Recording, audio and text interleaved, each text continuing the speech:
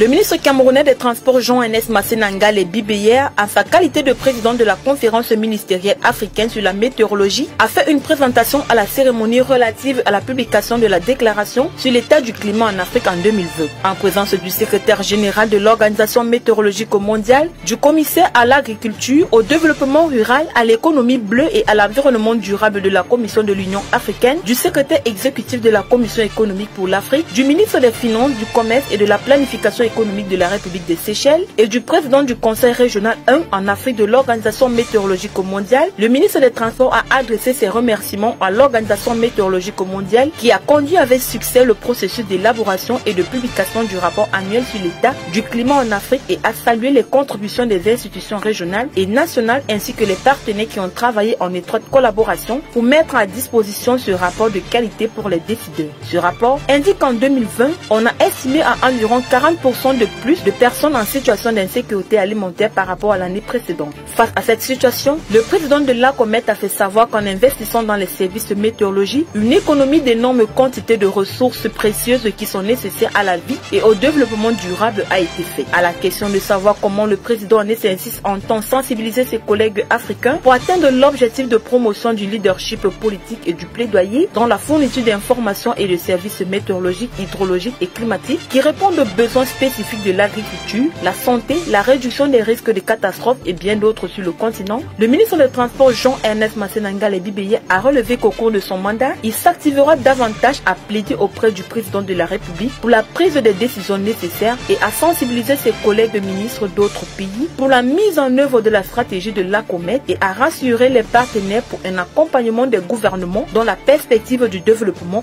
durable.